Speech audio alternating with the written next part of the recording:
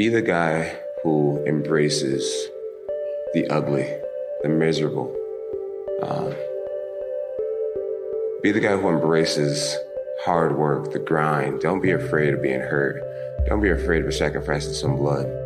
It's the moments in life, the decisions you make on a, on a, on a moment-to-moment basis that add up to be the guy or not the guy. Tonight, I did something, you know, that I feel more of a guy.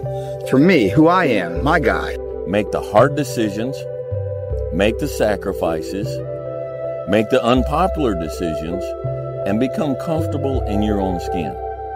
And if you are not a person that you are comfortable being alone with, that is the one person in this universe that you have full power, full right, and full responsibility to change. If you had to create a human, what would you put them through to make them tough? It probably wouldn't be a really chill life. What would you put them through to make them patient? We probably wouldn't give them things immediately.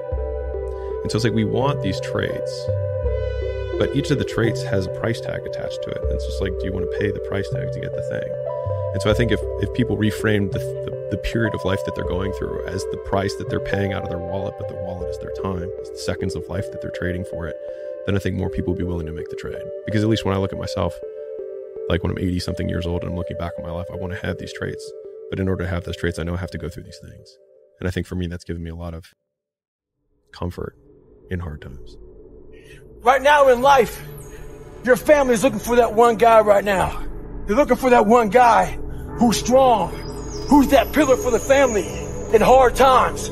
Make sure they look around. They look around and find you. These are the times right now for you to step up. Be that guy that can take anything. Stay hard.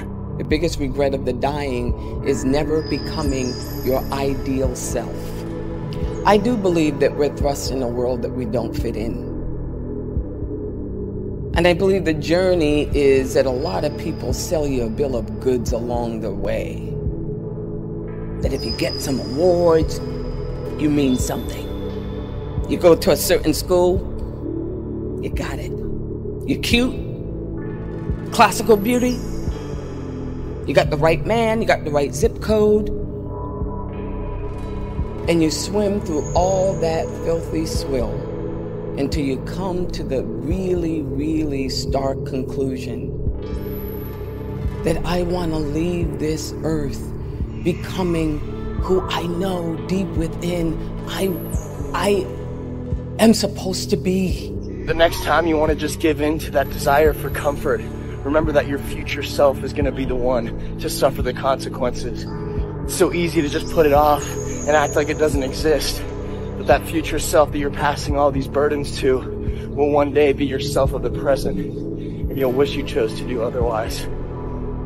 Everything that you do counts. The biggest mistake that people make is they think that only what they want to count counts. No. Uh, when you read a book, when you listen to an audio program, when you go to a course, when you go to bed early and get up early and you work, it all counts. Never can apologize for being yourself. If people don't like how you act, how you look, how you speak, that just means those aren't your fucking people. Don't change who you are to match your surroundings. Pick better fucking surroundings and be yourself. I don't know. Most men would understand that when a man cries and he's whimpering, he's hurting. You know, because I've been there. And there's no shame in crying, gentlemen. Men, it's okay to cry. We can still be a man, but you're also human. And it does show a little bit of your vulnerability. Do it for your loved ones. Do it for your wife. Do it for your husband. Do it for your children. Do it for generations to come. Come on, after you're dead and gone, what will they say about what you did? Yes, there's so many people depending on you, but it's got to start with you and the man upstairs. If you want to be great, oh man, prepare to get up off that mat. You're going to get knocked down over and over and over. And even when you feel like, no, nobody, it, I can't be hit this hard. Or if you're down there thinking, there's no way I can get up from this. That's when you're just starting. For some strange reason, this world wants to see you water down the reality of who you are. Our society wants to see you think like everyone else and feel just like those around you. Maybe for somebody who's so distracted from their true desires as a person, that doesn't sound so bad. But the pain of seeing through limitation and full absence of distractions is almost unbearable. You see, hurts because the resistance wants you to give in and mold to what's expected of you. And if I can provide some advice, don't. I don't know where you are in your game of life. You may be in your third quarter.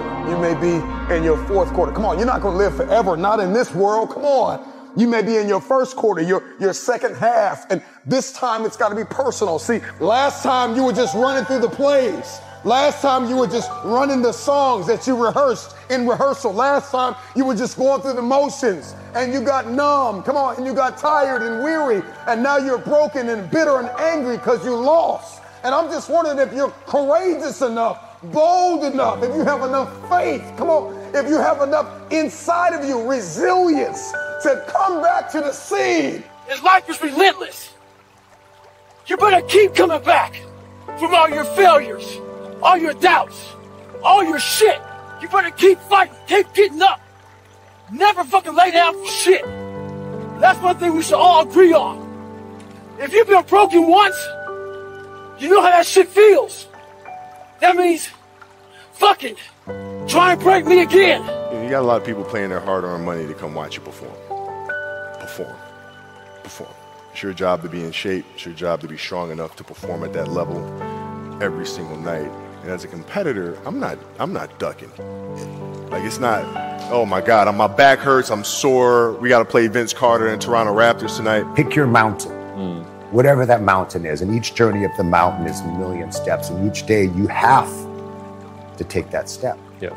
Each day you take that step, you look up at the mountain, you say, That's where I want to go. And then each next day you take your step over and over and over again. Everything was done to try to learn how to become a better basketball player. Everything.